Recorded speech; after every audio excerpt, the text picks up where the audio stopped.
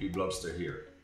Today I'm going to talk about mixed reality and show you how you can actually build a Power Apps application including mixed reality, be able to use the controls to capture images that are including your MR model and the physical surroundings and actually put that into a gallery.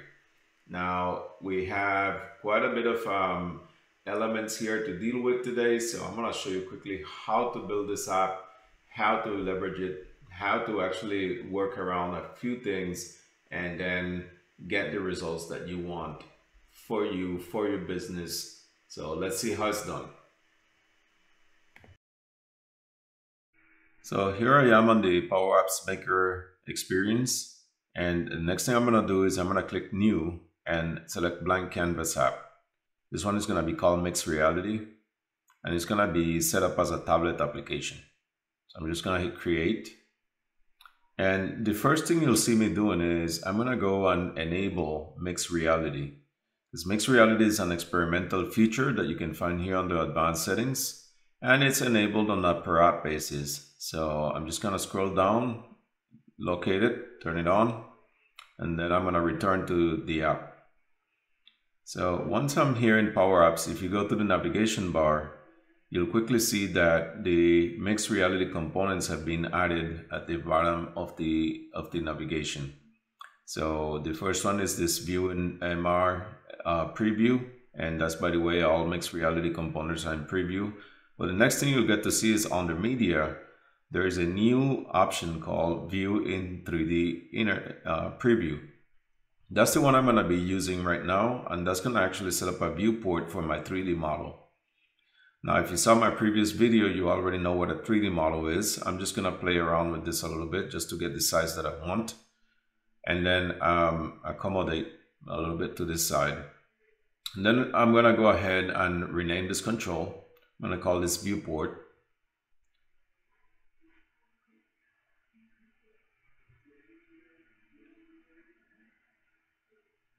Okay, once I have um, the viewport control set up, and then gonna I'm gonna go ahead and add a text label. That text label is just simply gonna contain the um, URL to my model. Now my current model is stored in GitHub and is the Endeavour um, star, star, starship from um, Star Trek. So I'm just gonna um, call this control model URL just uh, to give it a real uh, value. And um, I'm gonna copy paste the address to the URL of that um, USS Endeavour ship. And um, as I said, that's stored in GitHub. So you can see here the address.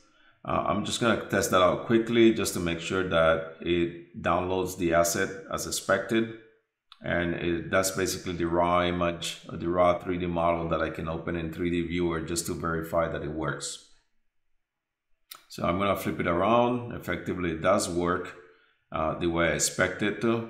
I'm just gonna close out that quickly and go back to my app. So the next thing you'll see is um, I'm actually gonna now set that viewport. I'm gonna set the source to um, model URL that text. That's basically the um, label control and the text within that label control. Oops, not here. What I found is that when you do set the source there, it doesn't quite work as expected. So um, I think it's because of the double quote. So I'm just gonna paste it here in the advanced options and now you can see it activates and shows the model effectively. So I'm gonna play this and you'll get a sense for what that um, what that model looks like.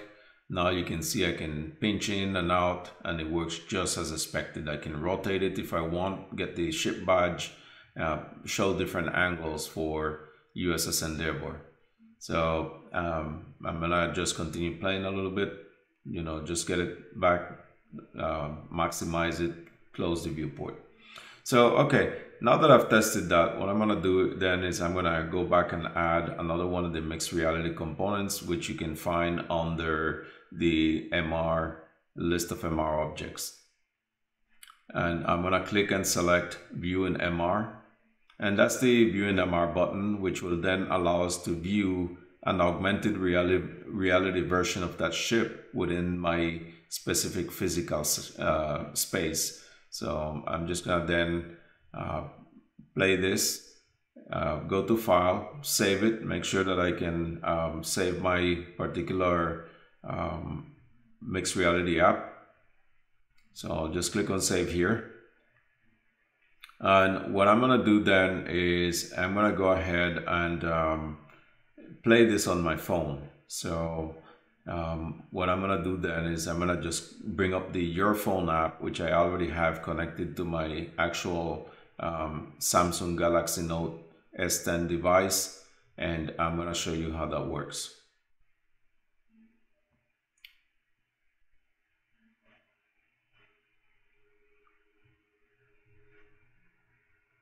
So now that I've loaded the Your Phone application, I'm gonna connect that to my phone screen. So I'm just gonna click here on display phone screen. And I'm gonna launch Power Apps on my phone. And as you can see, I have the mixed reality application here at the end. I'm just gonna click on that. And now I'm gonna authorize the camera, which I have to allow because mixed reality makes use of my camera, obviously to um, do the augmented reality. But then I'm going to also click here on the view in MR button. And um, well, for some reason, this is not doing something. So chances are I did not set the um, source. I'm just going to minimize this quickly here and go back to the app. And what I'm going to do is I'm going to select this view in MR button. And then effectively, I did not set the source. So we're going to set that to model URL that, that text as well. And um, now I have the URL to the actual model, the 3D model that I can mix in in that particular space. All right, so we're just gonna go ahead and save this again. And now this time, because it's the second time around, I have to publish this uh, application. So we're just gonna go ahead and publish the active version. Then I'm gonna go back to my phone, uh, close this app for a second and reload it effectively with um, the new version of the app. So I'm going to be prompted here. That's um, actually part of the um, the user experience. So I'm going to click on View MR again. Now you can see that I'm going to position, uh, I'm actually interacting with my physical space and I'm going to position my phone here and I'm, I'm just simply going to tap. As you can see, I rotate the model a little bit and now I actually have this model viewed in my space. I can even um, get up from around my desk and sort of like walk around a little bit and see how um, it behaves in my space. So I can even do a close up and, um, you know, go back to, um, you know, move around a little bit and see how that works. There you go. So that's pretty cool.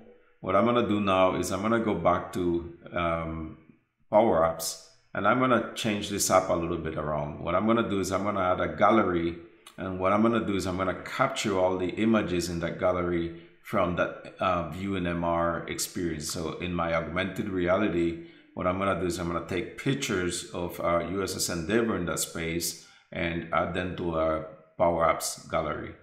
So first a collection and that collection obviously is bound to a gallery. So here we're going to do a little bit of design work to move this out of the way.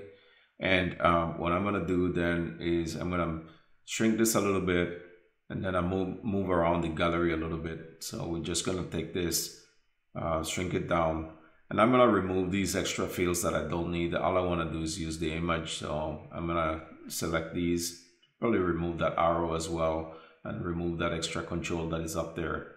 So now that I have the gallery of pictures the way I want it, I can then just um, do a little bit more design work, nothing too extravagant here. And I'm gonna move around the button a little bit.